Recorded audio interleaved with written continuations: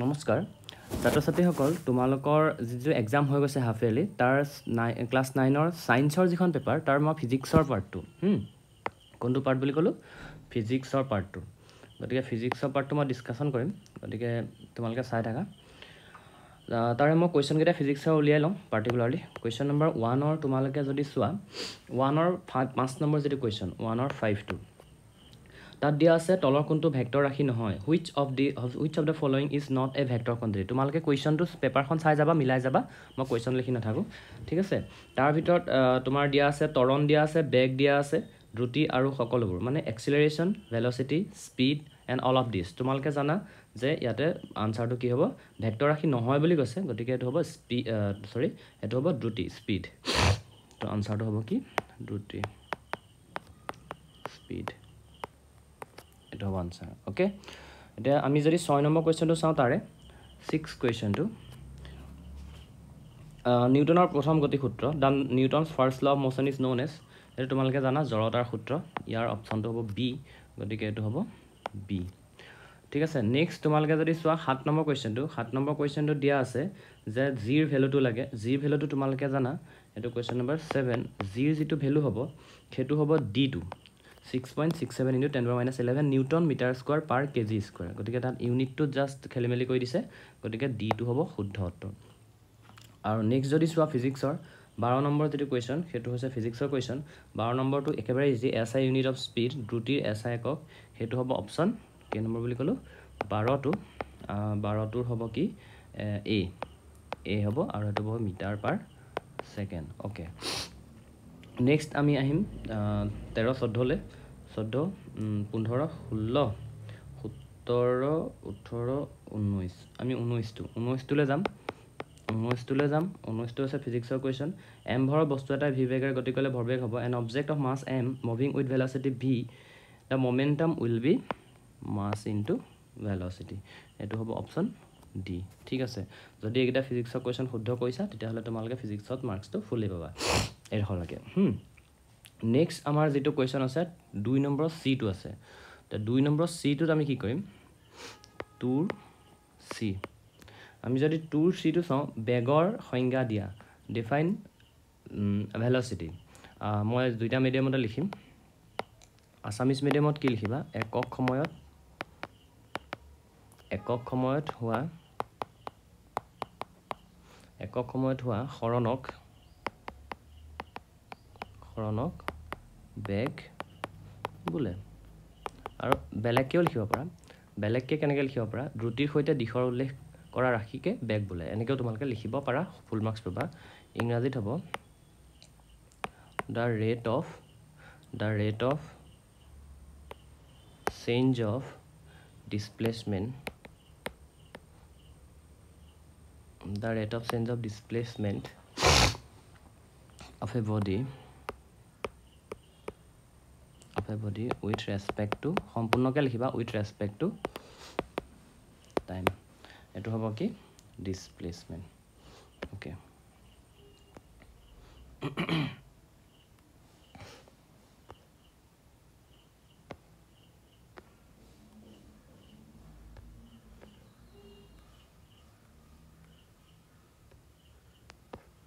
এতিয়া আমি নেক্সট কুৱেশ্যনলৈ যাম। নেক্সট কুৱেশ্যনটো আছে দুই নম্বৰৰ ডি টু দুই নম্বৰ ডি টুত তোমাক উলিয়াব লৈছে কেলকুলেট মমেণ্টাম তো মমেণ্টাম উলিয়াবৰ কাৰণে আমি কি কৰিম?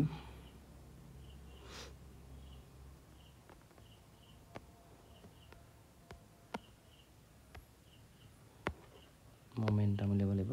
তো মমেণ্টাম উলিয়াবলৈ হ'লে দুই নম্বৰৰ ডি কুৱেশ্যনটো দুই নম্বৰ ডি কুৱেশ্যনটো টেন কেজি মাছ দিয়া আছে তাৰমানে এম দিয়া আছে কিমান? টেন কেজি তাৰপিছত দিয়া আছে তোমাৰ ভেলচিটি দিয়া আছে ভেলচিটি দিয়া আছে কি?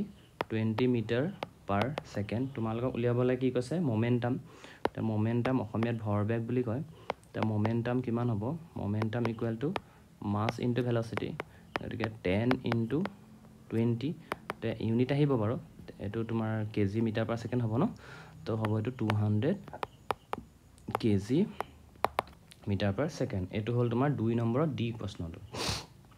দুই নম্বৰ ডিৰ পিছত আমি যদি চাওঁ এইডোখৰত ফিজিক্সৰ কুৱেশ্যন নাই আছে তোমাৰ এল টু এলটোত আমাৰ ফিজিক্সৰ কুৱেশ্যন আছে গতিকে এলটোলৈ যাওঁ আমি। এলটো এলটোত কি দিছে যে একচুৱেলি ওৱান নিউটন বলৰ সংজ্ঞা one define one newton force গতিকে তোমালোকে যদি এইটো কৰিছা তেতিয়াহ'লে এইটো এনেকৈও লিখিব পাৰা। 1 newton force 1 1 newton force is that is that amount of force মই এখানে লিখা দিছিলোঁ which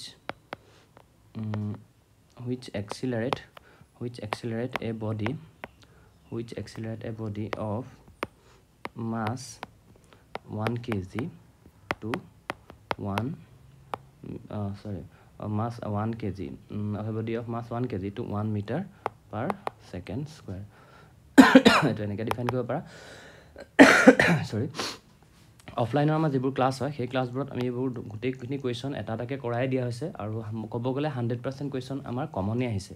গতিকে তোমালোকে যদি ভালকৈ যোনে যোনে অফলাইন আমাৰ ইয়াত যোনে যোনে ক্লাছ কৰিছা তেওঁলোকেতো ফুল পাবাই আৰু বাকী অনলাইন যিখিনি যিসকলে এইখিনি চাইছা তোমালোকে চাই লোৱা কোনখিনি ক'ত ভুল হ'ব হা? এইটো অসমীয়াত কি লিখিবা? এক কেজি এক কেজি ভৰৰ বস্তু এটা এক কেজি ভৰৰ বস্তু এটাক এক মিটাৰ পাৰ ছেকেণ্ড স্কুৱেৰ ত্বৰণ ঘটাবলৈ প্ৰয়োজন হোৱা বলক এক নিউটন বল বোলে। ঠিক আছে? এইটো তোমালোকে এনেকৈ কৰি ল'ব পাৰিবা। নেক্সটটো চোৱা এম টু এম টু হৈছে আপেক্ষিক ঘনত্ব লিখিব কৈছে এল এম আপেক্ষিক ঘনত্ব তো ৰিলেটিভ ডেঞ্চিটি তো আমি যদি এইটো লিখোঁ অসমীয়াত যদি লিখোঁ এনেকৈ লিখিব লাগিব। কোনো এটা কোনো এটা বস্তুৰ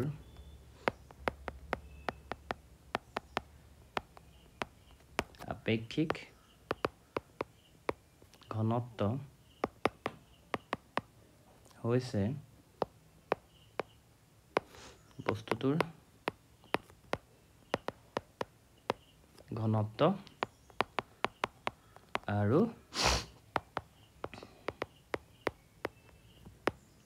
পানীৰ ঘনত্বৰ অনুপাত। তোমালোকে জানাই চাগে হ'লেও মই লিখি দিছোঁ। ঠিক আছে এনেকৈ যদি লিখিছা তেতিয়াহ'লে ফুল মাৰ্কছ পাবা। আৰু ইংৰাজীত কি লিখিবা? It is the it is the ratio' of it is the ratio' of density of an object to density of water হৈ গ'ল? এইটো কুৱেশ্যন হৈ গ'ল।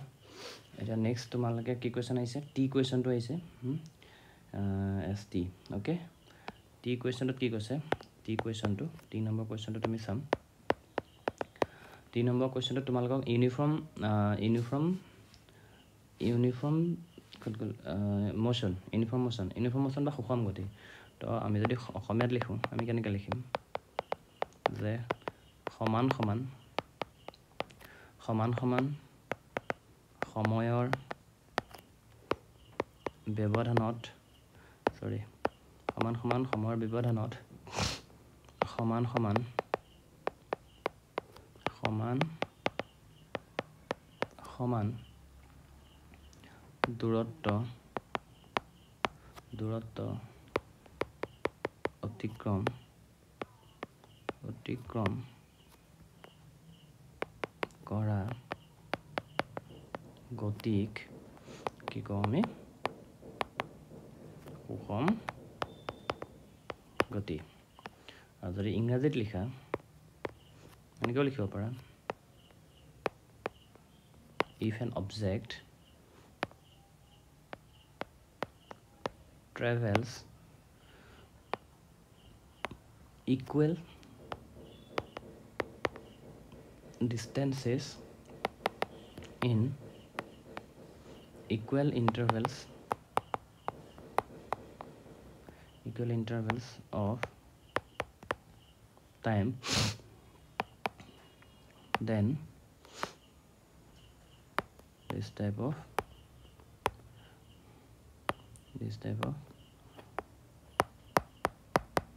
motion is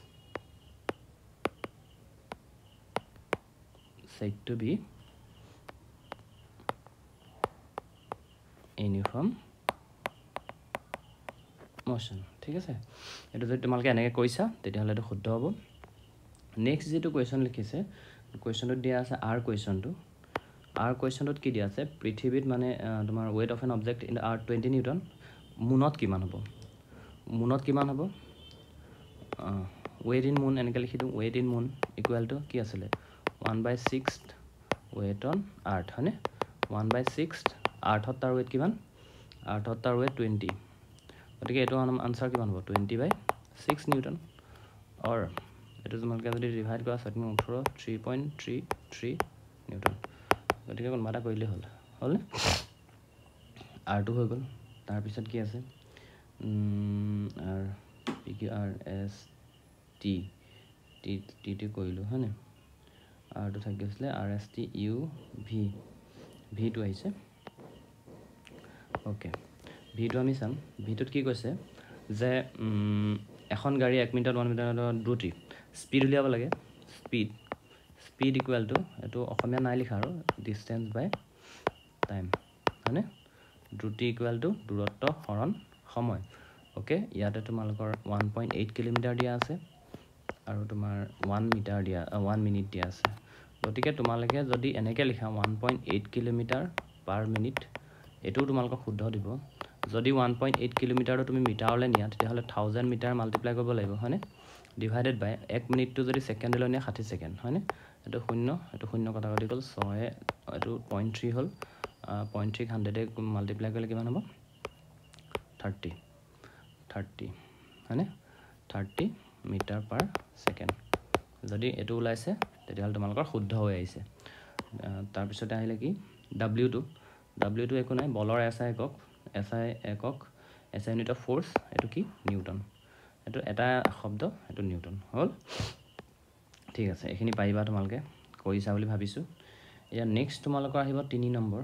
তিনি নম্বৰত আছে আমাৰ ডাইৰেক্ট গৈ পেলাই ই নম্বৰ কুৱেশ্যনটো থ্ৰীৰ ই থ্ৰী ইটো আমি চাম কি কৈছে? থ্ৰী ইটোত কৈছে যে তৰণ কি এক্সিলেশ্যন কি এছ আই ইউনিট তো আমি কি লিখিম? Rate of change of velocity rate of change of velocity with respect to with respect to with respect to সম্পূৰ্ণ লিখিব লাগিব। টাইম ইজ এক্সিলাৰেশ্যন এক্সিলাৰেশ্যন লিখিবা। বেগৰ পৰিৱৰ্তনৰ হাৰক আমি কি বুলি কওঁ? তৰণ বুলি কওঁ। অসমীয়াত লিখিবা কি? বেগৰ পৰিৱৰ্তনৰ হাৰক তৰণ বোলে তৰণ বোলে অ'কে যদি এইটো এনেকৈ কৈছা তেতিয়াহ'লে শুদ্ধ হ'ব। বা ইউনিটটো সুধিছে ইউনিটটো কি? Metre per second square. এইটো তোমালোকে জানাই চাগে। নেক্সটটো হ'ল কুৱেশ্যন নম্বৰ কি দিছে? Question number F question number F two ফিজিক্সৰ question দলিচা এখনত মাৰিৰে ধূলিবোৰ ওলালে কিয় হয়? কাৰ্পেটখনত যদি তুমি ষ্টিকে দিয়া মাৰ দিয়া তেতিয়াহ'লে কিয়? তাৰ পৰা ডাষ্ট পাৰ্টিকলবোৰ ওলাই আহে। এতিয়া আমি এইটো যদি লিখোঁ অকণমান বনাই পেলাই নিজেই নিজৰ লেংগুৱেজত বনাই লিখিলেই হ'ল চবৰে বেলেগ বেলেগ হ'ব পাৰে। মই যদি লিখোঁ when dust particle stick with carpet এইটো নিজেই তোমালোকে বেলেগ বেলেগকৈ বনাই যদি লিখি আহিছা তেতিয়াও শুদ্ধ হ'ব। ঠিক আছে খালি ক'ব লাগিব যে কোনটো ল এপ্লাই হৈছে। When dust particle stick with carpet then both both carpet and particles particles are in rest তাতে ৰৈ আছিলে ঠিক আছে। হ'ল হুৱেন এক্সটাৰ্নেল মানে হুৱেন এনেকৈ লিখিব পৰা বনাই পেলাই তোমালোকে যিটো লিখা when carpet is beaten with a stick with a stick then carpet comes carpet comes to motion হয় নাই কাৰ্পেটখন গৈ হ'লে motion but due to inertia due to inertia dust particles dust particles tends to tends to stay rest stay rest results results dust particles results dust particles and carpet become separate become separate separate হৈ যাব and fall হ'ব এনেকৈ ধৰণে বনাই লিখিলেই হ'ল এইটো তোমালোকৰ টিচাৰে marks দিবই বুজি পালেই হ'ল যে এইটো একচুৱেলি ৰেষ্ট ইনাৰ ইনাৰ্চিয়াৰ কাৰণে হৈছে ঠিক আছে অসমীয়াত তোমালোকে যদি লিখা তেতিয়াহ'লে বনাই লিখিবা। মই লিখি দিছোঁ বাৰু। মাৰিৰে নকোবোৱাৰ আগলৈকে আগলৈকে কাৰ্পেট আৰু কাৰ্পেট আৰু ধূলি দুয়োটাই দুয়োটাই ৰৈ আছিল। সাধু কথা নিচিনাকৈ লিখি দিবা লিখি আহিছা চাগে। যদি আহিছা আৰু হৈছে নেক্সট এক্সামৰ কাৰণে যদি আহে এনেকৈ লিখিবা। ৰৈ আছিল। কোবোৱাৰ কোবোৱাৰ আগত কোবোৱাৰ আগত অঁ কোবোৱাৰ আগতহে আহিছে কোবোৱাৰ ফলত কোবোৱাৰ ফলত কাৰ্পেটখন কাৰ্পেটখনে কি কৰিলে? গতি লাভ কৰিলে? গতি লাভ কৰিলে হয়নে? আৰু ধূলিবোৰ ধূলিবোৰ কি হ'ল? ধূলিবোৰ জড়তাৰ নিয়ম অনুসৰি নিয়ম অনুসৰি ধূলিবোৰ কি হ'ব? নিয়ম অনুসৰি একে ঠাইতে থাকিব হয়নে? ঠাইতে থাকিব।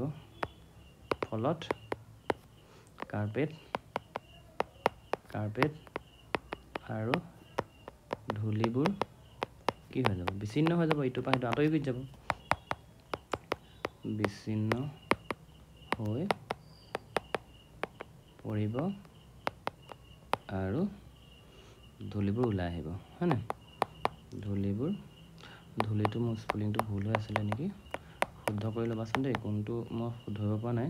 কুৱেশ্যনবোৰত তোমাৰ দন্তীয়া ধত ধৈৰ্য ইউজ কৰিছে। ধূলিবোৰ ওলাই ওলাই আহিব ঠিক আছে? অ'কে। ধূলিটো এইটো ধূলি নহয় আচলতে এইটো ধূলিটো এইটোহে হয়।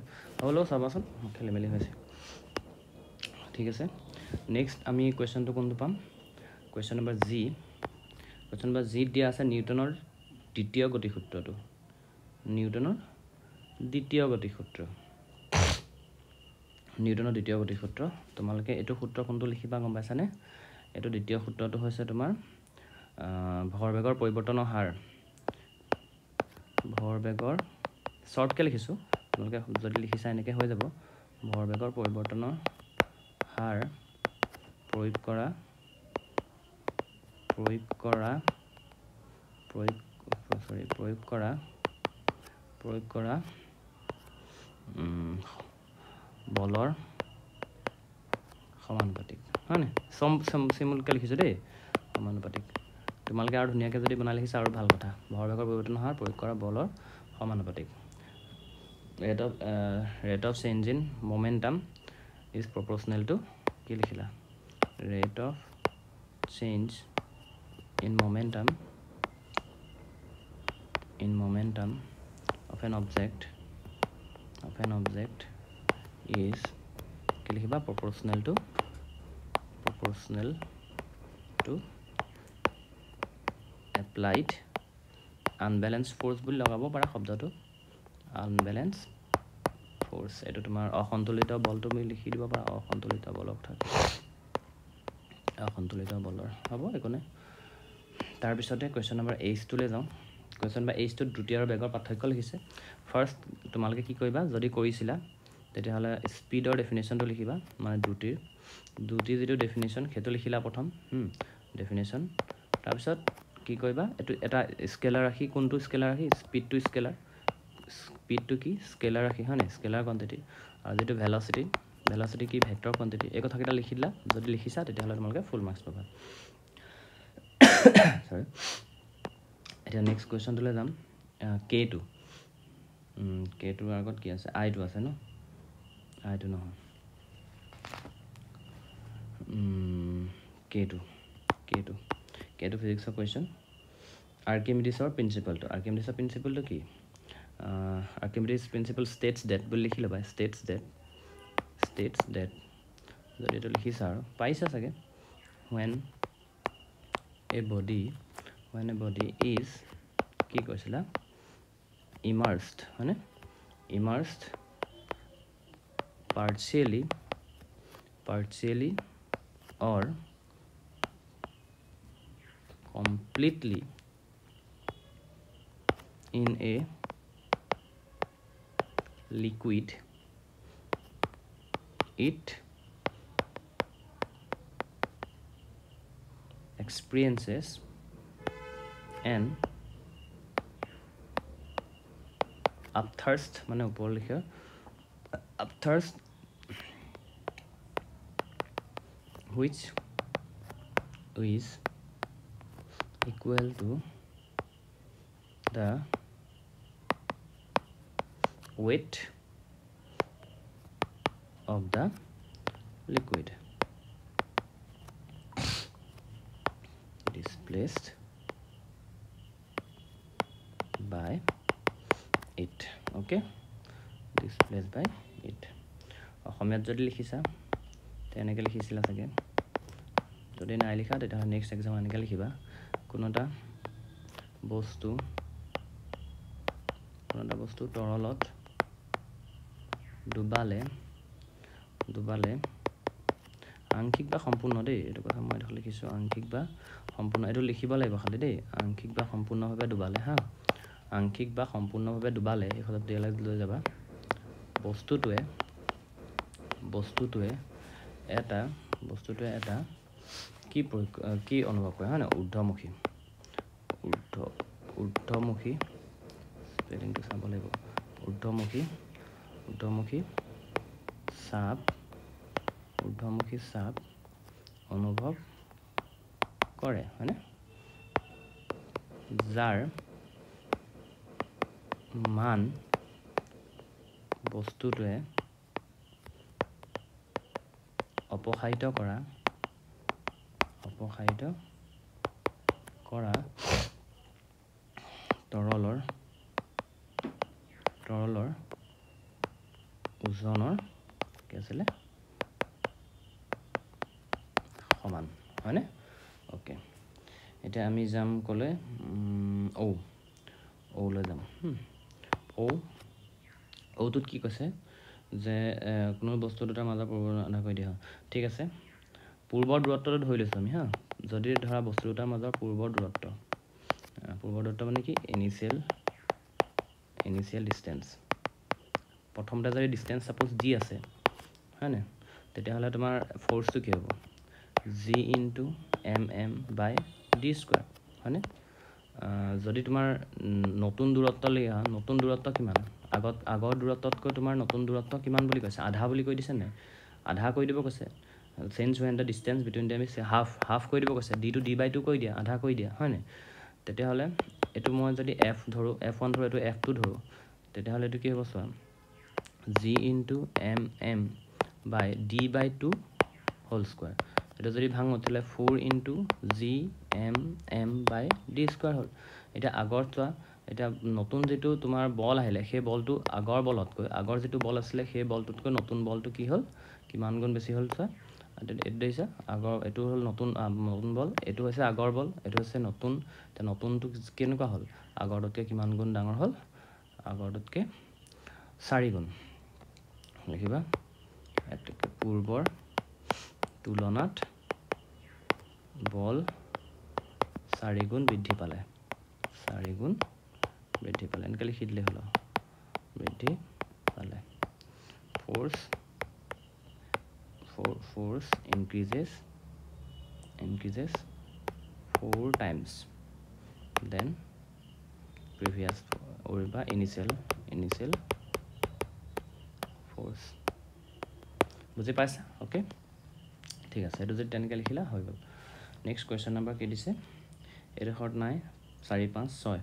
কুৱেশ্যন নম্বৰ ছিক্স টু এইখিনি আমাৰ কৰোৱা হৈ গৈছে অলৰেডি যোনে যোনে অফলাইন ক্লাছ কৰিছা। চাৰি নম্বৰটোত কি কৈছে একচুৱেলি দুই কেজি ভৰৰ বন্ধু অ'কে আমাৰ ইয়াত বুলেট বুলেটৰ কাৰণেও দিয়া আছে। বুলেট আৰু এফালে তোমাৰ পিষ্টল অ'কে এইটো নিউটনৰ তৃতীয় তৃতীয় নিউটনৰ ল অফ কনজাৰ্ভেশ্যনৰ মমেণ্টামত এইটোত আহিব থাৰ্ড ল'ৰ পৰা। গতিকে প্ৰথম আমি বুলেটটো বুলেটটোৰ ভৰ যদি আমি এম ওৱান বিছ গ্ৰাম বিছ গ্ৰাম বিছ গ্ৰামটো তোমালোকে কেজিত লিখা যদি zero' point zero' two KG হ'লনে? তাৰপিছতে ইনিচিয়েল যিটো ভেলচিটি বুলেটটোৰ বুলেটটোৰটো ৰৈহে আছিলে বন্ধুকটোৰ লগত হয় নে নহয়? যেতিয়া গুলি এটা আছে বন্ধুকটোৰ লগত গুলিটো ৰৈ আছে সেইটো জিৰ' মিটাৰ পাৰ ছেকেণ্ড হয়নে? তাৰপিছতে যিটো ওলাই গৈছে ওলাই গৈছে এইটো ফাইনেল ভেলচিটি ফাইনেল ভেলচিটি কিমান? One fifty metre per second এনেকৈ লিখি ল'বা। পিষ্টলৰ কাৰণে কি দি আছে? পিষ্টলটোৰ যিটো ৱেইট সেইটো মই মাছটো এমটো ধৰিছোঁ এইটো হ'ল তোমাৰ টু কেজি হয়নে? আৰু ইনিচিয়েলি ৰৈ আছিলে জিৰ' আৰু ভিটো ফাইনেল ভেলচিটি কিমান সেইটোৱে সুধিছে ঠিক আছে? তো আমি ফৰ্মুলা কি ইউজ কৰিব পাৰিম?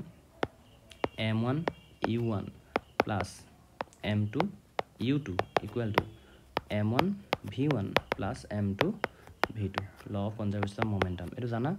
তে এম ওৱানৰ ভেলু পুট কৰা zero' point zero' two into U zero' হয়নে নহয় প্লাছ এম টু টু আৰু U two zero' equal to M one M one মানে তোমাৰ zero' point zero' two velocity কিমান আছিলে? One fifty plus M two two K G velocity কিমান আছিলে? আমি নাজানো গতিকে ভি টুৱে বুলি ধৰি লওঁ ঠিক আছে?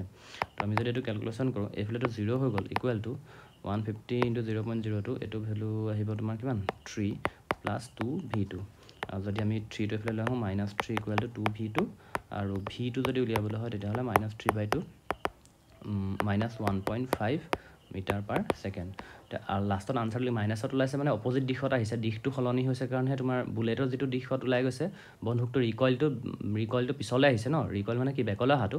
তো সেইটো আমি বেকলৈ আহিম। আমি লিখিম কেনেকৈ? উত্তৰটো লিখি দিম। প্ৰতি বন্দুকটোৰ বন্দুকটোৰ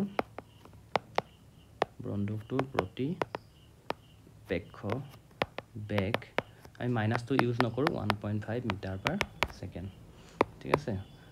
ইংৰাজীত লিখি দিবা কি? Recoil of the pistol one point five metre per second. হৈ গ'ল। লাষ্ট কুৱেশ্যন কি আছে? ছয় সাত নম্বৰ। সাত নম্বৰটো। সাত নম্বৰটো তোমালোকে এটা কাম কৰিবা। কিতাপত ডাইৰেক্ট লিখা আছে সেইটো তোমালোকে চাবা G equal to M into M sorry F equal to G into M by D square যে হয় সেইটো তোমালোকে আমি অফলাইনত দেখাই দিছিলোঁ গতিকে যেনেকৈ লিখোৱা আছে তেনেকৈ যদি লিখিছা তেতিয়াহ'লে শুদ্ধ হ'ব। আৰু যিসকলে অন মানে এইটো বহুত ভিডিঅ' প্ৰথম চাইছা তোমালোকে কিতাপখনত চাবা ডাইৰেক্ট লিখা আছে। মই আঠ নম্বৰটো কৈ দিম। আঠ নম্বৰটোত কি দিয়া আছে যে এক্সিলেশ্যন উলিয়াব লাগে আৰু ডিষ্টেঞ্চ উলিয়াব লাগে। ঠিক আছে? এইটো আমি কেনেকৈ কৰিম? আঠ নম্বৰটোত চোৱা ইউটো কিমান হ'ব? আঠ নম্বৰটোত কাৰণ কেলৈ স্থিৰ অৱস্থা বুলি কৈছে ষ্টেচনৰ ষ্টেটত আছিলে ৰেলগাড়ীখন ইউ ইকুৱেল টু জিৰ' হ'ব হয়নে? টাইম কিমান লাগিছে যাওঁতে? টাইম লাগিছে কিমান? ফাইভ মিনিটছ ফাইভ মিনিটত গৈছে ন? ফাইভ মিনিট ফাইভ মিনিটটো যদি আমি তোমালোকে ছেকেণ্ডলৈ নিয়া ফাইভ ইণ্টু ছিক্সটি চৰি তিনিশ ছেকেণ্ড বাসত্তৰ বেগ ভি দিয়া আছে। ফাইনেল ভেলচিটি দিয়া আছে seventy two kilometre per hour এতিয়া কথাটো হ'ল কি এইটো ছেকেণ্ডত আছে গতিকে আমি এইটো ছেভেণ্টি টু কিলোমিটাৰ পাৰ আৱাৰটো মিটাৰ পাৰ ছেকেণ্ডলৈ নিবলৈ হ'লে আমি কিহে মাল্টিপ্লাই কৰোঁ? মন মনত পৰিছে ফাইভ বাই এইটিনেৰে ফাইভ বাই এইটিনেৰে যদি মাল্টিপ্লাই কৰোঁ এইটো হ'ব কি টুৱেণ্টি মিটাৰ পাৰ ছেকেণ্ড এইডোখৰকৈ তোমালোকে উলিয়াই ল'লা। যদি উলিয়াই লৈছা তেতিয়াহ'লে তোমালোকে সূত্ৰ কি জানা? এক্সিলেশ্যন উলিয়াব কৈছে। V minus U divided by T এনেকৈ ডাইৰেক্ট কৰিলেও হ'ব। ঠিক আছে ভি ভেলচিটি টুৱেণ্টি মাইনাছ শূন্য ডিভাইডেড বাই থ্ৰী হাণ্ড্ৰেড গতিকে এইটো আহিব টুৱেণ্টি বাই থ্ৰী হাণ্ড্ৰেড টান টানটোতো একো নহয়। কেঞ্চেল কৰিলে ওৱান বাই ফিফটিন গতিকে এইটো আহিলে one by fifteen metre per second square হ'লনে? তাৰপিছতে তোমাৰ দূৰত্ব উলিয়াব দিছে। দূৰত্ব উলিয়াবলৈ আমি সূত্ৰ ইউজ কৰিম। S equal to U T plus half A T square এইটো সূত্ৰ ইউজ কৰিলেও তোমালোকৰ দূৰত্ব ওলাই যাব। গতিকে এছ ইকুৱেল টু ইউ ইউটো জিৰ' টাইমটো আমি যিয়ে নাথাকক আল্টিমেটলি জিৰ' হৈ গ'ল। প্লাছ হাফ এ এক্সেলাৰেশ্যনটো ওলাই গ'ল তোমালোকৰ ওৱান বাই ফিফটিন টাইম কিমান আছিলে? থ্ৰী হাণ্ড্ৰেড স্কুৱাৰ এনেকৈ যদি উলিওৱা এইটো হৈ গ'ল এইটোতো কাম নাই। গতিকে এইটো গ'ল one by thirty into three hundred into three hundred যদি এইটো হয় তেতিয়াহ'লে এইটো এইটো কেঞ্চেল এইটো এইটো কেঞ্চেল তাৰমানে ওলালে এইটো কি? Three thousand metre or three kilometre দূৰত্ব থ্ৰী কিলোমিটাৰ ডিষ্টেঞ্চ মানে ট্ৰেইনখনে কিমান ডিষ্টেঞ্চ কভাৰ কৰিছে? থ্ৰী কিলোমিটাৰ কভাৰ কৰিছে। গতিকে এইখিনি এনেকুৱা ধৰণৰ কুৱেশ্যন আছিলে। টান কুৱেশ্যন নহয় একেবাৰে ইজি কুৱেশ্যন আমি যিখিনি পঢ়াইছোঁ গোটেই কুৱেশ্যনখিনি আহিছে। খুব ভাল কথা তোমালোকে ঘৰত যদি নিজে পঢ়িছা সেইটো আৰু ভাল কথা। গতিকে এইখিনিতে থাকক বাকী নিহাৰিকা আমি ছাৰ ধ্ৰুৱ ছাৰ ভিডিঅ'টো চাই ল'বা।